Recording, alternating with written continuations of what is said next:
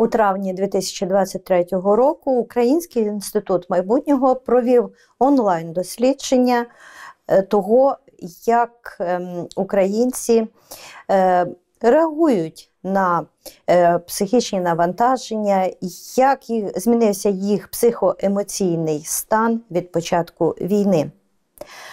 Результати дослідження е, свідчать про те, що 82% опитаних вживають алкоголь, а 26% вживають його зараз більше, ніж це робили до початку війни.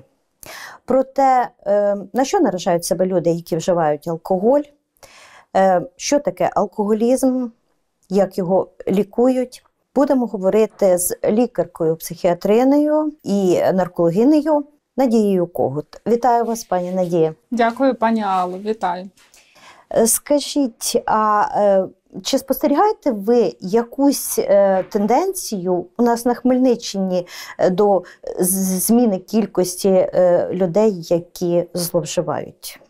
Так, протягом, протягом останнього часу, останніх років, особливо під час війни, ми спостерігаємо тенденцію, на жаль, на жаль, тенденцію до прогресування е, таких е, захворювань хронічних, як алкоголізм, наркоманія. Це що стосується наркологічного профілю. Е, Насправді вживання алкоголю це не хороша ідея.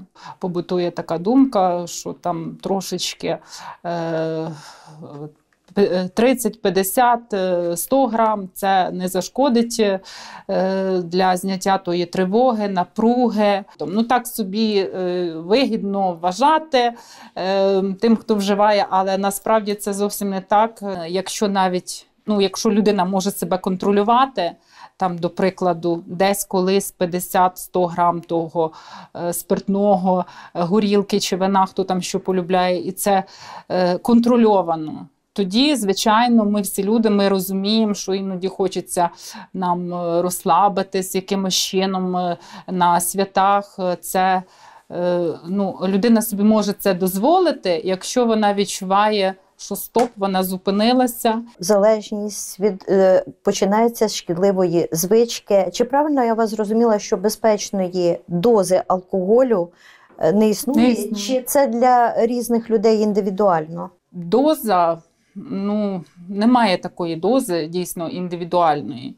Якщо людина знає, Універсальної для є, всіх. є так? контрольована доза. Так, для того, щоб контролювати себе, чи то з'ясувати для себе, що це шкідлива звичка, чи вже легка залежність, чи, не дай Боже, уже алкоголізм. Треба знати стадії е, от, от розвитку е, цього захворювання. Я б тут не виділяла чітко стадії, там перша, друга, третя стадія. Е, Це такі умовні і перехідні стадії, але я би звернула увагу на стадії. Психічну залежність і фізичну залежність, яка в подальшому е, е, яка починається з е, абстинентного синдрому, е, це вже мається на увазі, якщо мова йде про хронічний алкоголізм, ми говоримо, то е, попадають пацієнти до нас, як правило, вже е, з цією хворобою, з цією патологією. В народі як кажуть похмілля. Похмілля. Що це таке? Похмілля? Це цей синдром чи щось Похмільний синдром і абстинентний синдром це синоніми, це е, ну, явища е, фактично однакові. Похмільний синдром, на жаль, уже виникає в хронічних пацієнтів, тобто це вже йде алкоголізм. Жіночий алкоголізм.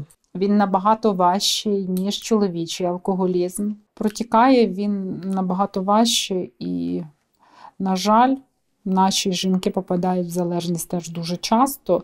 І потім ми бачимо наслідки. Іноді пацієнти, е, ну, коли ще вони свідомо підходять до лікування, до звернення до фахівців, ми ще можемо чимось допомогти. А іноді бувають е, випадки, коли вже йдуть е, незворотні зміни головного мозку, незворотні зміни е, взагалі соматичні явища йдуть, соматичні проблеми, е, які вже не лікуються. Не піддаються лікуванню ті самі, от вже коли енцефалопатії йдуть алкогольного генезу, це все Ну, це жах і для самої алкозалежної, і для близьких рідних. Так, так, на жаль, е, статистика показує, що жіночий алкоголізм набагато важче протікає, і жінка набагато швидше попадає в ту залежність, ніж чоловіки. Ну, такі реалії. Куди звертатися е, людям, які усвідомили, що потребують допомоги? Е, тільки звертатись до фахівців. Пацієнт має обирати лікаря, клініку. Державний заклад це у нас е, комунальне підприємство, обласна психіатрична лікарня. Е, також надається амбулаторна допомога, центр психологічної допомоги. Існує ряд приватних клінік. Е, ем, наркологічного профілю, куди можуть звернутися наші пацієнти. 90% ем, одужання, успіху залежить від самого пацієнта, від його бажання, від його мотивації. Е, і це це наш успіх, але в першу чергу це його успіх, їхній успіх, успіх залежних людей. Ем, лікування, е, де воно має відбуватися, яким чином? Е, чи можна це робити вдома, чи обов'язково стаціонарно лікуватись? Від чого це залежить? На мою думку, це несерйозний підхід пацієнта, коли він рахує, е, що ви мені назначите там е, медикаменти, заспокійливі, е, можливо, капельниці, якого я ніколи не роблю. Це неприпустимо, щоб амбулаторно там хтось капав на дому і так далі, і тому подібне. Сенсу в цьому я не бачу. Хоча не скажу 100%, були такі пацієнти, це знову ж таки залежить від особистості, від індивідуму, е, що е, це було успішне таке амбулаторне лікування. Але це одиничні випадки. ну, І, як правило, цей алкоголізм був не настільки. Е, серйозний, і пацієнту вдалося виходити на тих самих анксіолітиках, тобто така була легка транквілізуюча терапія, легка седативна і заспокійлива. Е, ну, Були такі пацієнти, що вони, скажімо так, проскакували і далі не вживали, але це. Скоріше виключення. Це так? виключення, звичайно, це виключення. Е, допомога має надаватися, знову ж таки, повернемось до вашого питання спеціалізовані, спеціалізованими фахівцями е, спеціалізованих умовах із цілодобовим моніторингом соматичного стану, психічного стану, так. того ж самого е, сну. Е, це серйозна робота, яка як нашим пацієнтам здається, що ми можемо вдома самі справитись. Тут вони е, п'ють, вибачте, антидепресант, там транквілізатор е, і запивають горілкою. То сенс цього всього. Скільки триває лікування? Е, лікування триває залежних людей, е, триває по-різному. Е, знову ж таки, в залежності від клінічного клінічної ситуації, індивідуального випадку кожного.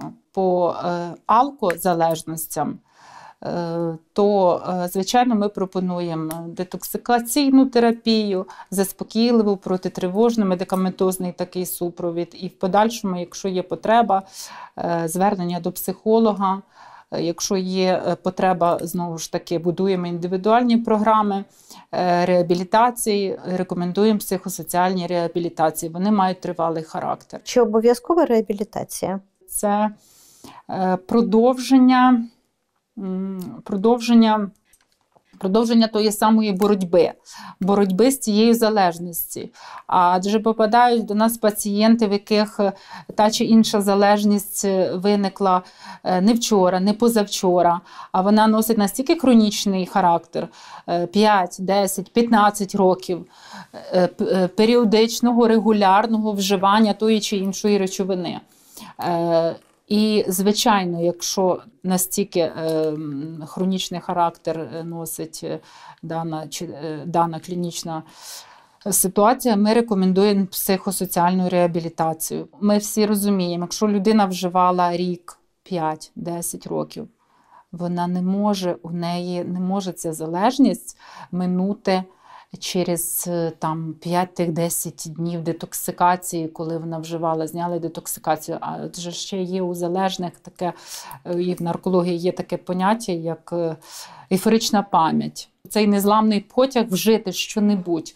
Проходить певний період часу, от навіть після того медикаментозного лікування, яке може бути і тривалим, знову ж таки, через місяць, через три місяці, через рік і навіть через декілька років. Е, у нього спрацьовує, е, у залежної людини спрацьовує ця ейфорична пам'ять, і йому хочеться е, вживати. Про те, як відбувається реабілітація, ми поговорили із керівником відділу профілактики Міжнародної антинаркотичної асоціації Хмельницький центр здорової молоді Максимом Павловим. Мінімальний термін пробування в центрі це місячний термін пробування. Рекомендований термін пробування від місяцю до 6 місяців реабілітації. Е, З людьми працюють консультант залежності, терапевт, терапевт, психолог. Робота над мисленням. Е, Люди, які знаходяться в центрі, е, пишуть письмові роботи, проводиться профілактика зриву, інформаційні блоки, групова психотерапія, арт-терапія. Все стосовно залежності. Також е, є у нас група е, для родичів е, залежних людей, для співзалежних. Людина потрібно навчитися жити в тверезості, радіти життю в тверезості.